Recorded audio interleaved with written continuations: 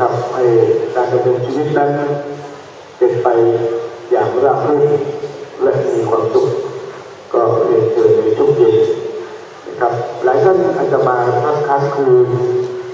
ภายในบริเวณงาน ก็กระทำได้เช่นกันแต่ขอขอให้ระมัดระวังในเรื่องการดูแลรักษาทรัพย์สินของท่านเองด้วยนะครับเนื่องจากว่าอาจจะมี อันนี้ผมใช้คำว่าอาจจะมี แต่ความจริงไม่น่าจะมี นั่นก็คืออาจจะมีผู้ที่ปรารถนาดีแต่ประสงค์ร้ายอยากได้ทรัพย์สินของผู้อื่นเป็นทรัพย์สินของตัวเอง ก็อาจจะมีเราป้องกันไว้ก่อนนะครับโบราณท่านบอกว่าป้องกันไว้ดีกว่าแก้ทำเย่เล่จะแก้ไม่ได้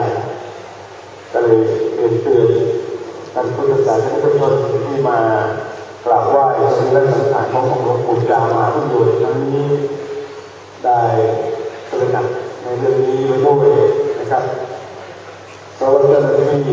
ที่มาคอยอำนวยความสะดวกอาจจะดูแลท่านไม่ทั่วถึง